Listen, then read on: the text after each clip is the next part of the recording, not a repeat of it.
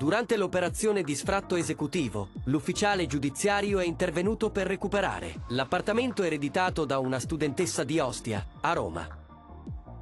La ragazza non ricordava l'esterno dell'appartamento della nonna e ha indicato l'ingresso sbagliato. Le forze dell'ordine hanno sfondato la porta e si sono ritrovati in casa del questore di Roma, Carmine Belfiore. È stata buttata giù la porta sbagliata. Quando è stato scoperto l'errore, l'irruzione nella casa del questore ha creato un grande momento di sconcerto e imbarazzo. La studentessa romana, come riporta Repubblica, ha ereditato la casa della nonna e non ricordava con precisione quale fosse la porta di ingresso. La casa era stata occupata da un inquilino che non pagava l'affitto.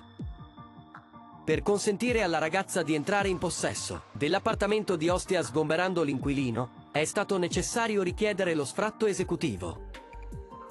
La giovane ricordava soltanto l'interno della casa, non l'esterno.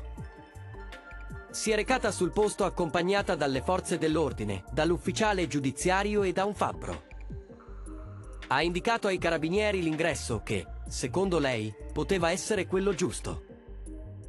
Hanno sfondato la porta e si sono resi conto dell'errore. Non era quello l'appartamento soggetto a sfratto esecutivo. Immaginate l'imbarazzo di irrompere in casa di una persona sbagliata e di scoprire che quella persona è il questore di Roma.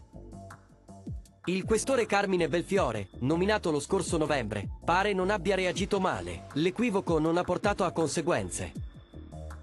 Una volta capito il grossolano errore, quasi comico, le forze dell'ordine e l'ufficiale giudiziario sono usciti dall'appartamento.